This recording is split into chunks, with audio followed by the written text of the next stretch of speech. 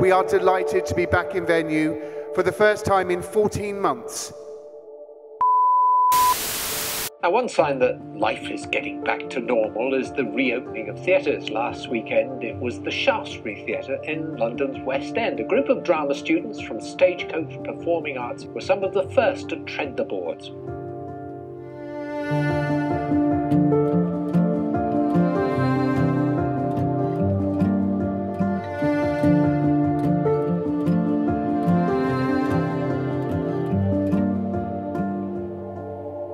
That was the best moment of my life, performing with everyone here.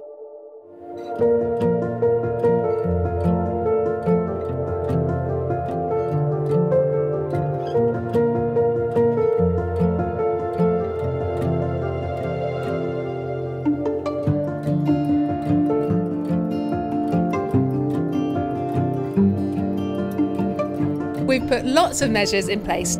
Lots of hand sanitising on rotation, hand washing. Kids need some sense of normality. They need to have fun, they need to play, they need to be with their friends.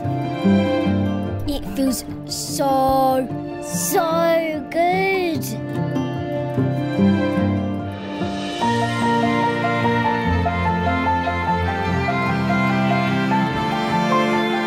It's just great because I missed it so much.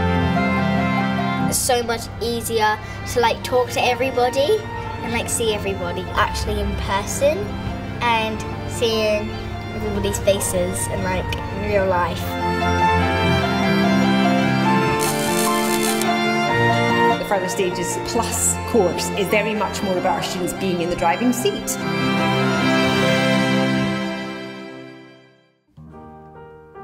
Although we haven't been able to get into the theatre, just because we haven't put a costume or lights onto it, it doesn't mean that you haven't made something special, you haven't made friends who potentially you'll be with forever.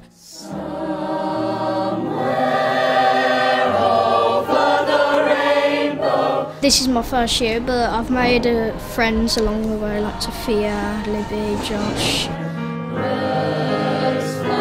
It was so exciting to see everyone again. Honestly, it, it's an experience that you you forget how much you enjoy it. It's honestly one of my favourite times of the year, and we're really like a family. And it's really sad at the end when we have to leave.